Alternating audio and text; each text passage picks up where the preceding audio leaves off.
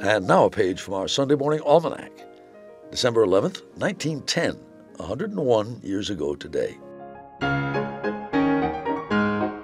The day visitors to a Paris exposition saw a new sort of lamp from the laboratory of chemist Georges Claude.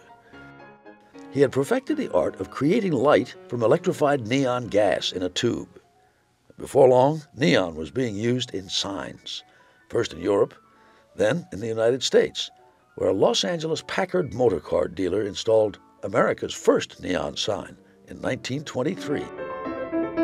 From gas stations to restaurants to neighborhood theaters, many another small business was quick to embrace the neon sign as its own way of standing out from the crowd.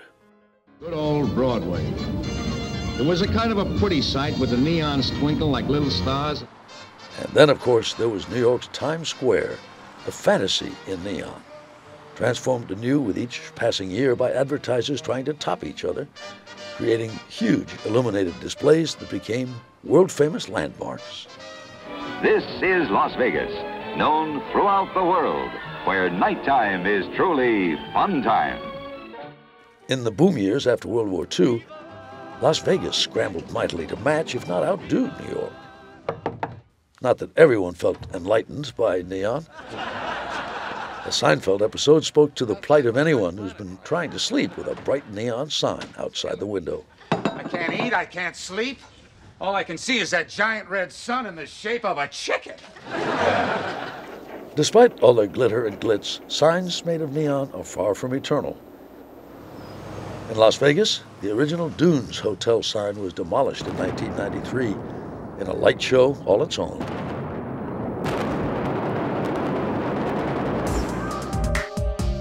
While in more recent times, neon signs have been under challenge from newer forms of lighting, such as LEDs. But at custom sign shops, such as Let There Be Neon in New York, the delicate art of shaping the tubes and injecting the gas goes on. For true believers, nothing but neon will do.